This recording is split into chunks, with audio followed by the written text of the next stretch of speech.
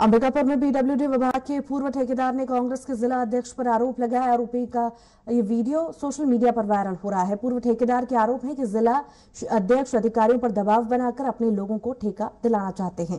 विभाग में बहुत तर कामों को लेकर टेंडर निकाले जाने हैं। आरोपों को लेकर जिला अध्यक्ष का कहना है कि पूर्व ठेकेदार के आरोप गलत हैं।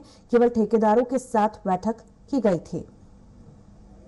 ठेकेदारों पर जिला अध्यक्ष द्वारा, राकेश गुप्ता जी द्वारा जोरदार दबाव।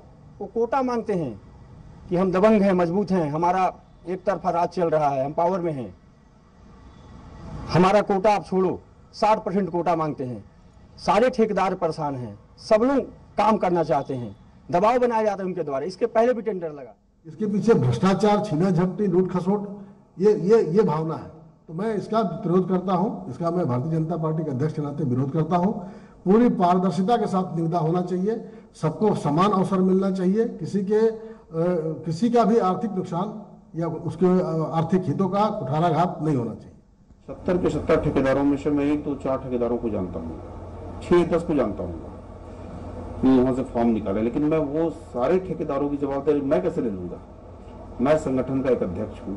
मेरे नाम पे यदि कोई कुछ कह रहा है तो मैं केवल इतना ही कहूँगा कि मैंने आज तक कोई सीसी रोड अपने इस जीवन में ठेके में नहीं बनाया है। तो बाकी कहने वाले कहेंगे और सत्यता तो सब लोग जानते हैं